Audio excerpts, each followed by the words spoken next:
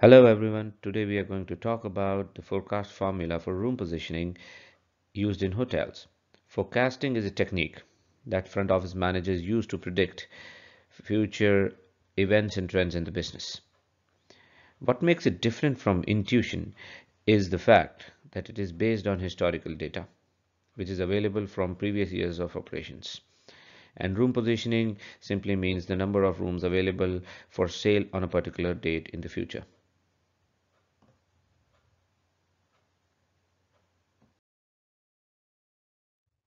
In this session, we are going to talk about the importance of forecasting formula, the calculative data required for forecasting, room availability, and we are also going to derive the forecasting formula using the forecasting data.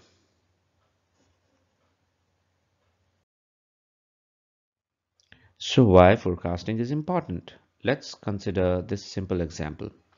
If a front office manager is aware of the number of rooms available for sale, then he can strategize his reservation strategies and make it effective. Well, if you're aware of the number of rooms available for sale, that means you are also aware of the occupancy of the hotel for that day. So, the room forecasting can be used to forecast occupancy and if the occupancy is known to be low or high, accordingly the room pricing can be set. So the occupancy data serve as a stepping stone for room pricing. Since we also know the number of arrivals for that day because we know the occupancy data for that day. So we can assume the traffic and accordingly the front office manager can schedule the employees so as to counter the traffic on the front desk at the day of check-in. And we can it also helps to avoid revenue leakage.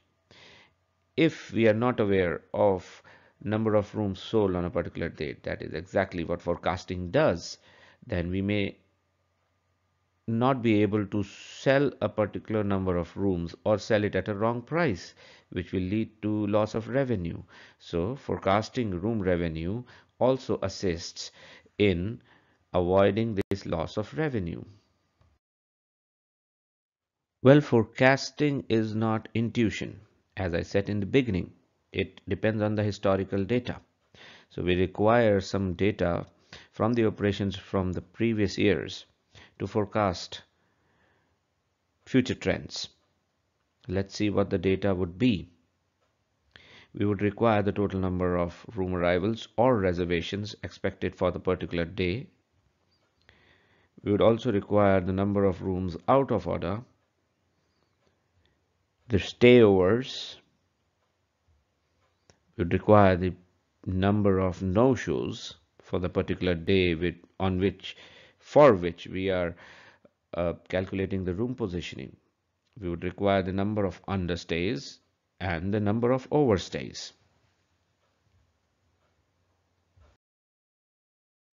So let's discuss the data one by one. The number of rooms expected of arrival for that particular day on for which we are calculating the room positioning is simply the number of reservations for the particular date. Now when we reserve a room, generally the number of rooms are reduced from the total number of rooms available for sale. So for forecasting purpose, we will use a negative sign for it.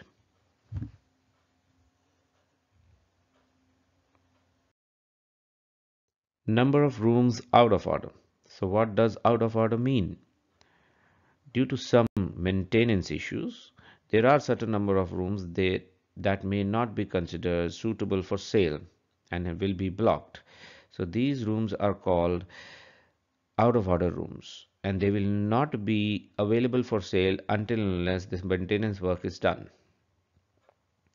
So considering this, this will also reduce the number of rooms available for sale. So we will again use a negative sign for the purpose of forecasting here. The percentage of no-shows. Who are no-shows? These are the guests who have reservations for a particular date. However, they do not arrive on that particular date to occupy the rooms and did not even cancel their reservation. We can calculate percentage of no-shows by dividing the number of no-shows by the number of room reservations. Since the room will remain vacant in this case, so for the purpose of forecasting, we will add this. The number of understays. Now these are people who have actually booked the room for particular duration and have a scheduled date of departure. However, due to certain reasons, they have to leave early. So they do not occupy the room till the date of their scheduled departure and check out before that. Now this also will keep the rooms vacant. So we will add this for the forecasting purpose. The number of overstays. Overstays are the guests who again have a scheduled departure date and time. However, they plan to exceed that and they stay beyond their date of checkout.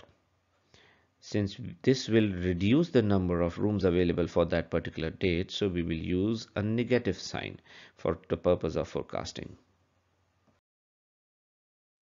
Before we finally derive the forecasting formula, there are two more things which are more important in this. One is the total number of guest rooms. That is always known to the people. And second, the number of stayovers.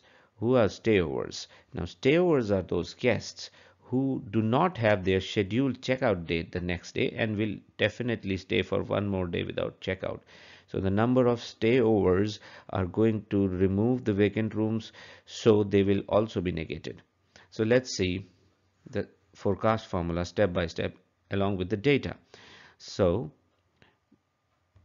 first would be the total number of guest rooms. Obviously, this is the maximum number of rooms available in the hotel, out of which we are going to calculate the number of rooms available for a particular date.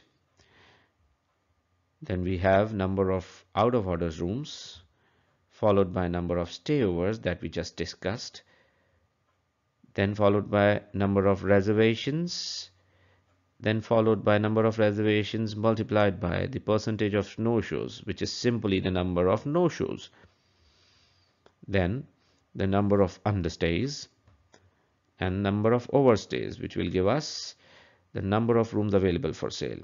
Let's see how to calculate that. So the formula goes like this. Total number of guest rooms minus number of out of order rooms minus number of room stayovers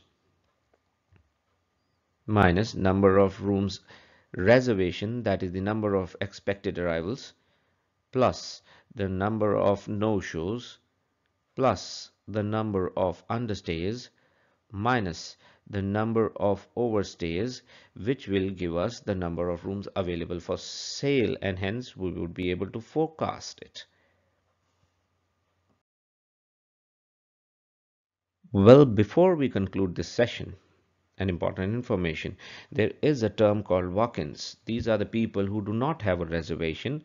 However, they come to the hotel for occupying a room so they register or check in directly now this term or this data is not used to calculate forecasting the reason is that the number of walk-ins a hotel accepts is based on the number of rooms available and that's what we were doing in forecasting. So it doesn't make sense to include walk-ins in the number of rooms available for sale regarding the forecasting part. So that's the reason walk-ins is not used. So with that I'll conclude this session on forecasting formula. Thank you very much and stay safe